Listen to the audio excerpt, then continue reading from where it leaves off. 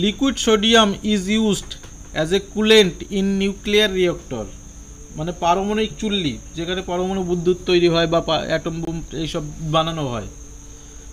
ঠিক আছে? সেখানে ওই মানে চুল্লিকে ঠান্ডা রাখার জন্য অত্যন্ত গরম হয়ে যায় তো রিয়াকশন ওখানে হয়। গরম হয়ে সেটাকে ঠান্ডানোর জন্য লিকুইড সোডিয়াম ইউজ করা হয়। শুধু লিকুইড সোডিয়াম নয় গ্রাফাইটও ইউজ করা হয়। এবং আর একটা জিনিসও ইউজ করা ভারী জল হেভি ওয়াটার ঠিক আছে? এই তিনটে জিনিসই হচ্ছে ইউজ করা হয় ঠান্ডা করার জন্য। এবার গ্রা যদি বলে মডারেটর হিসাবে কি ইউজ করা হয় তাহলে হলো গ্রাফাইট মানে নিউট্রনের আহ, নিউট্রনের গতি কমানো বা বাড়ানোর জন্য। ঠিক আছে? বুঝতে পারছ? নিউটন কথাটা উল্লেখ করলাম বুঝতে পারছ। ধরো ইউরেনিয়ামকে ভাঙার জন্য একটা নিউট্রন দিয়ে আঘাত করা হয়। ঠিক আছে? তাহলে ওই নিউক্লিয়াসটা ভেঙে যায়, একটা ক্রিপ্টন আর বেরিয়াম তৈরি হয়। তো আবার তিনটে নিউট্রন হয়। সেই তিনটে নিউট্রন, তিনটে নিউক্লিয়াসকে আবার হচ্ছে ভাঙে। এরকম এই যে রিয়াকশন এটাকে বলে চেন রিয়াকশন নাম শুনেছো? আচ্ছা নেক্সট দেখো। A mixture of water and alcohol can be separated by distribution এটা খুব সহজেই দেখো। অ্যালকোহল আর ওয়াটার উপরে অ্যালকোহল আর নিচে ওয়াটার। এটা যে পদ্ধতিতে যদি তাপ প্রয়োগ করো সেপারেটেড হয়ে যাবে। কারণ অ্যালকোহলের অ্যালকোহলের হচ্ছে বয়লিং পয়েন্ট ওয়াটারের বয়লিং পয়েন্ট থেকে কম। মনে করো সরি অ্যালকোহলের বোধ হয় সিক্সটি নাইন বয়লিং পয়েন্ট আর ওয়াটারের হচ্ছে হান্ড্রেড ডিগ্রি তাহলে ওটা তো আগেই, অ্যালকোহলটা আগেই ভেপার হয়ে যাবে। আলাদা করা যাবে। ঠিক আছে? বুঝতে পারছ? নেক্সট দেখো। আচ্ছা polythene is industrial paper prepared by the polymerization of ethylene ঠিক আছে?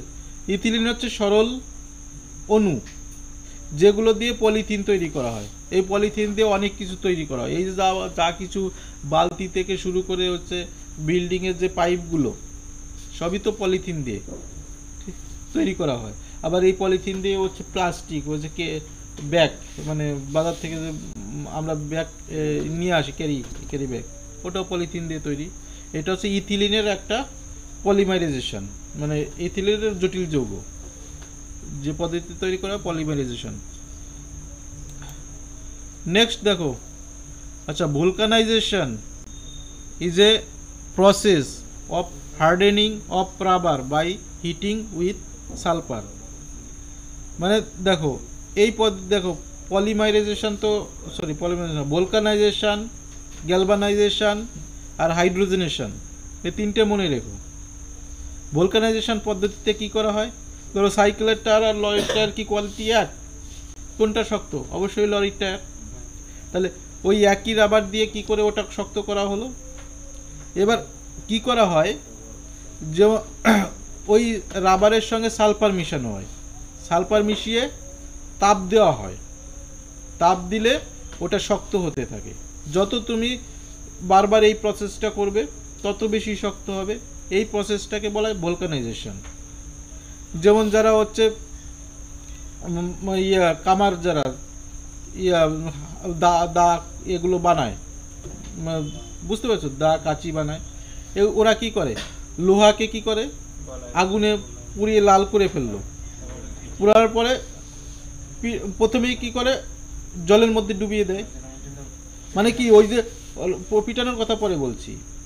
মানে প্রচণ্ডভাবে উত্তপ্ত, সঙ্গে সঙ্গে ঠান্ডা মানে ওটা টাইট হয়ে গেল। কন্ট্রাকশন মানে হার্ডনেসটা বাড়ে। ঠিক আছে? এমনি নরম লোহাকে পিটে পিটে তুমি যে যে শেপ তৈরি করলে, কিন্তু শক্ত করার জন্য যত বারবার তুমি এই প্রসেসটা করবে ওই জ্বালাবে আর ঠান্ডা করবে জলের মধ্যে। জ্বালাবে আর ঠান্ডা করবে, তত বেশি হার্ড হবে। ঠিক আছে? এইটা। তো সেই একই রকমভাবে হচ্ছে এই সালফারের সঙ্গে রাবার মিশিয়ে তাপ প্রয়োগ করলে ওটা শক্ত হয়। দেখো এখানে রাবারের একটা ফটো দেওয়া আছে। এবার সাবলিমেশন। এটা হচ্ছে, এটা কি ধরনের চেঞ্জ?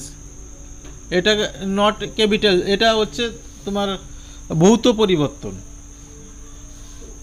ঠিক আছে? সাবলিমেশন সাধারণত আয়োডিনের হয়। মানে ভৌত পরিবর্তন ধরো ইয়ে তোমার সাবলিমেশন পদ্ধতি হচ্ছে ভেপার থেকে আবার আয়োডিনে দ্রবীভূত করা। এটাকে বলা হয় সাবলিমেশন ঠিক আছে? ধরো নিচের থেকে জ্বালানো হচ্ছে। এটা কি আয়োডিনটা ভেপার হয়ে যাচ্ছে। ভেপারের আয়োডিনের কালার এইরকম হয়। ফটোতে দেখো। এবার ওটাকে ঠান্ডা করলে আবার আয়োডিনের দলা ইয়ে গুটি গুটি হয়ে যাবে। এই যে আয়োডিনের আগেই তো ফটোটা দেখেছ। সর্ষের দানার মতো কালো কালো, ওই রকম জমতে থাকবে। এই যে যে পদ্ধতি, এই পদ্ধতিটা not chemical change chemical change মানে রাসায়নিক পরিবর্তন নয়। তাহলে রাসায়নিক পরিবর্তন আর ভৌত পরিবর্তন কাকে বলে? দেখো, যে পরিবর্তনে ভৌত পরিবর্তন বা ফিজিক্যাল চেঞ্জ যে পরিবর্তনে আগের অবস্থায় ফিরে আসে সেটাকে ভৌত পরিবর্তন বলে। তুমি জলকে ইয়ে করেছ, বরফ বানিয়েছো, ফ্রিজের মধ্যে ঢুকিয়ে দাও, সকালে বরফ হয়ে যাবে। তাহলে জল বরফ হলো, এটা কি ধরনের পরিবর্তন? ভৌত পরিবর্তন। কারণ ওই বরফকে আবার গলিয়ে জল পাচ্ছ। মানে আগের অবস্থায় ফিরিয়ে পাওয়া যায় সহজে, এটা হচ্ছে ভৌত পরিবর্তন বা কেমি ফিজিক্যাল চেঞ্জ ঠিক আছে? এবার তুমি লোহা বাইরে রেখে দিয়েছ, বর্ষার দিনে। দীর্ঘদিন পরে কি? রাস্ট পড়ে যাবে, লালচে লালচে হয়ে যাবে। ওটাকে, ওই যে রাস্টটাকে তুমি কখনোই আর লোহায় আগের অবস্থায় ফিরিয়ে আনতে পারবে না। এটাকে বলা হয় রাসায়নিক পরিবর্তন বা কেমিক্যাল চেঞ্জ ঠিক আছে? এই যে আমরা খাবার টাবার খাচ্ছি, এটা কি ধরনের পরিবর্তন? ভাত আমরা খাচ্ছি, সেই ভাতকে আর ফিরে পাবো? পাবো না।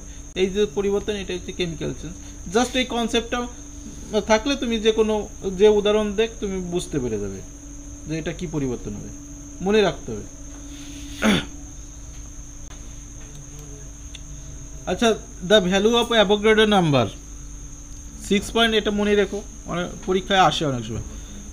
Six point zero twenty three into ten to বা টোয়েন্টি থ্রি মানে এই নাম্বারটা উনি এক- একটা অ্যাজুম করেছিলেন, ধরেছিলেন যে এটা যে উনি গুনে গুনে করতে গেলে ওনার মতো অ্যাভোগ্রেডো হচ্ছে হাজার লক্ষ বছর বয়স বাঁচতে হতো।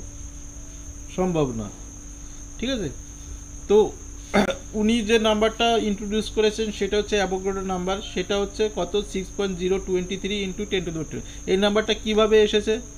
আগের দিন হচ্ছে উত্তমকে বুঝিয়েছিলাম চার্লসের ল যেমন মাইনাস দুইশো তিয়াত্তর ডিগ্রি সেলসিয়াস যে দুইশো তিয়াত্তর ডিগ্রি যেমনভাবে অন্য দুশো তিয়াত্তর ডিগ্রি পেয়েছিলেন, এই অ্যাভোগ্রেডো সাহেবও ঠিক ওইভাবেই হচ্ছে এই নাম্বারটা পেয়েছিলেন। ঠিক আছে? ঠিক আছে?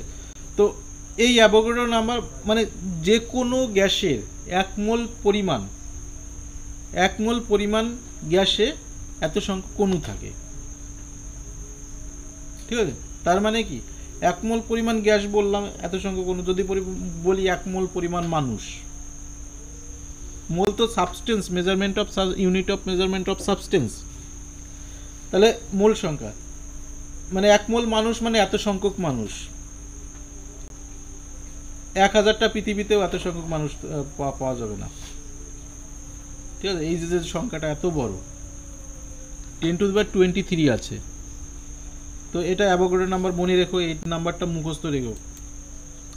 আচ্ছা অক্সিজেন অ্যান্ড ওজন আর অ্যালট্রপস। ঠিক আছে? দেখো, অক্সিজেনের দুটো পরমাণু মিলে, ঠিক আছে? অক্সিজেনের একটা অণু হয়, আর অক্সিজেনের তিনটে পরমাণু মিলে ওজনের একটা অণু হয়। এখানে অক্সিজেন এবং ওজনের অণুগুলো কীভাবে থাকে দেখানো আছে? সুতরাং ওজনের অণু যেভাবে আছে ডাইপোল মুভমেন্ট আছে। যাক, ওটার দরকার নেক্সট দেখো কার্বন গ্রাফাইট ডায়মন্ড এগুলো, এগুলোই আসে সাধারণত। এরাও পরস্পর অ্যালট্রপস রূপভেদ। অ্যালট্রপস মানে রূপভেদ। একই জিনিস দিয়ে শুধু হচ্ছে কনফিগারেশন আলাদা হওয়ার জন্য কোনোটা ডায়মন্ড কোনোটা গ্রাফাইট আগে যেমন বললাম কোনোটা অক্সিজেন কোনোটা ওজন কনফিগারেশন আলাদা অ্যাটমিক কনফিগারেশন এখানে ওই এদের হচ্ছে অ্যাটমিক স্ট্রাকচারটা দেওয়া আছে। ঠিক আছে? যেমন হচ্ছে দেখো ডায়মন্ডের স্ট্রাকচার হচ্ছে হেক্সাগোনাল ডায়মন্ডের যে অ্যাটমিক স্ট্রাকচারটা দেখো প্রথমে ফটোতে দেওয়া আছে হেক্সাগোনাল স্ট্রাকচার ঠিক আছে? গ্রাফাইটের এরকম স্ট্রাকচার এই জন্য ডায়মন্ডের এই যে স্ট্রাকচার হওয়ার জন্য ডায়মন্ড হচ্ছে সব থেকে শক্ত। হার্ডেস্ট এলিমেন্ট যদি বলা হয় হার্ডেস্ট যদি বলা হয় মানে অধাতুদের মধ্যে সব থেকে হচ্ছে ডায়মন্ডটি শক্ত। বুঝতে পেরেছ? আর এই ডায় মানে এই স্ট্রাকচার হওয়ার জন্য এর মধ্যে আলো টোটাল ইন্টারগ্যালাক্টিক রিফ্লেকশন আলোর পূর্ণ আভ্যন্তরীণ প্রতিফলন হয়। মানে আলো ডায়মন্ডের মধ্যে যে ওর মধ্যে পাক খেতে থাকে। এই জন্য বাইরে থেকে ডায়মন্ড জল জল করে। এই জন্য ডায়মন্ডের ব্রাইটনেস আছে, বুঝতে পেরেছ? আচ্ছা এখানেও এছাড়াও হচ্ছে ডায়মন্ড, ইয়েগুলো ছাড়া অন্য যেমন গ্রা গ্রাফাইন, ঠিক আছে? অ্যামফোরাস কার্বন, এগুলো সবই ইয়ের মানে কার্বনের অ্যালট্রপস। তোমরা ডায়মন্ড, গ্রাফাইট আর হচ্ছে কার্বন এই তিনটে মনে রাখলেই হবে।